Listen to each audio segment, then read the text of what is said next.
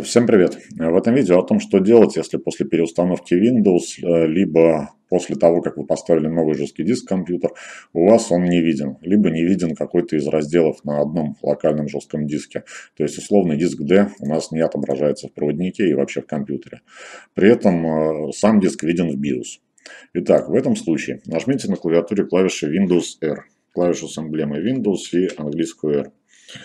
Введите команду disk mgmt.msc в окно «Выполнить», нажмите ОК. Запустится утилита управления дисками. Так. Обратите внимание, если у вас пропал раздел на одном жестком диске, э, то обратите внимание, э, есть ли какие-то нераспределенные области, или, возможно, область будет распределена, но при этом будет без буквы.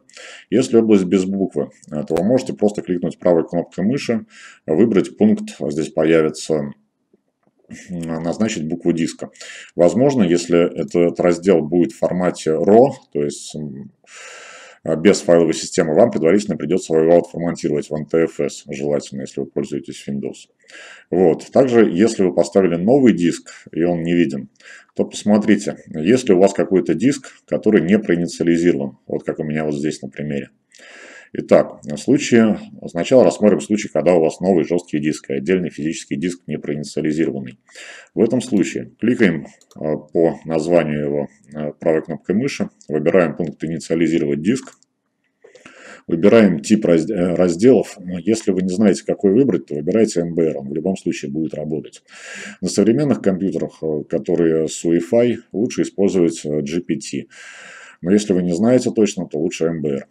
Выбираем ОК. Диск проинициализирован. А теперь на нем есть нераспределенная область, а, то есть его все так же пока еще не видно в проводнике. Кликаем по ней правой кнопкой мыши и выбираем пункт «Создать простой том». Нажимаем «Далее», задаем размер. По умолчанию он использует весь размер доступный. Далее назначаем букву диска, в данном случае автоматически D. Далее, форматировать. Предлагает он форматировать в NTFS, и я считаю, что как бы для Windows это оптимальный вариант будет. Нажимаем «Далее». Готово. Ждем некоторое время. Так, ну вот это не обращаем внимания, потому что он уже форматирует его. Итак, вот у нас появился диск D. В случае, если у вас не отдельный физический диск, а просто раздел, то это то же самое. Кликаем правой кнопкой по нераспределенной области, создать простой том. Далее, далее, буква диска, далее, форматировать.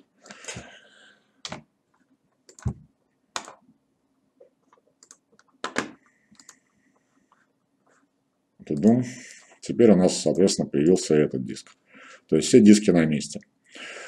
Вот. В случае, если, на всякий случай предупреждаю, если у вас эти области были не не распределены, а было написано там NTFS, но просто они отображались и были без буквы, то э, всего этого не делаем, а просто назначаем букву диска. То есть, чтобы не потерять данные, которые до этого были на данном разделе. Вот, в общем-то, все. Надеюсь, понятно. Если нет, то спрашиваем в комментариях. Всего доброго.